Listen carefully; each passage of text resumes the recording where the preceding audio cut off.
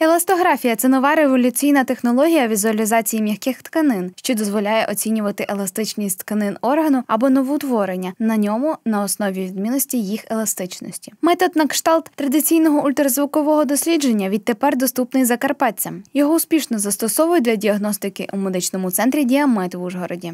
Еластографія на сьогоднішній е, час є революційною методикою в сучасній ультразвуковій діагностиці. Е, Вона заснована на визначенні жорсткості тканин, оскільки ми знаємо, що доброякісні утвори вони є м'яко еластичні, а злоякісні утвори вони є більш жорсткими.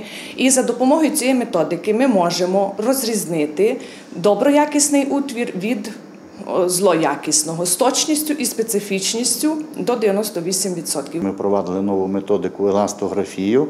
Це ластографія щитовидної залози, молочних залоз і печінки. Має велике значення для діагностики гепатитів, автоімунних захворювань щитовидної залози, а також е, раннє виявлення мастопатій або пухлин молочних залоз. Ось на такому сучасному апараті фірми Siemens проводиться еластографія. За допомогою спеціалізованих запрограмованих датчиків проводиться дослідження м'яких тканин тривалістю до півгодини. Це із формулюванням закінчення. Фахівці з медобладнання провели майстер-клас для лікарів медцентру, тож готові якісно застосувати технологію на практиці.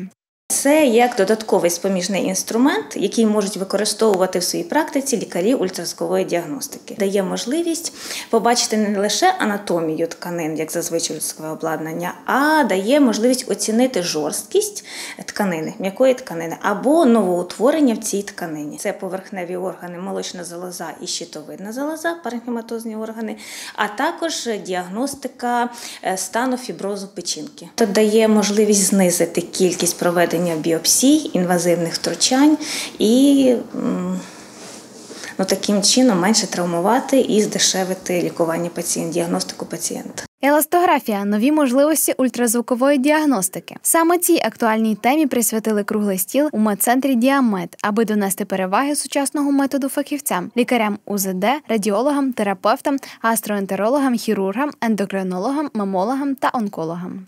Главные факторы высокой жесткости ткани в чем заключаются? Да? Значит, э, из-за чего ортосинтетическая струма жесткость растет? Во-первых, накопление коллагена, так? потом механическое сжатие самого пухоли, то есть опухоль растет, начинает деформировать окружающие ткани. Так, сначала она их отодвигает, а потом начинается инвазия. И тоже, соответственно, реакция э, пирамидальной ткани будет на этих процессов. Плюс к этому усиление васкуляризации, меняется микроциркуляция. Это тянет за собой, соответствие воспаление отек. Крім теоретичного курсу у програмі заходу серія майстер-класів, еластографія щитоподібної залози, молочної залози і печінки.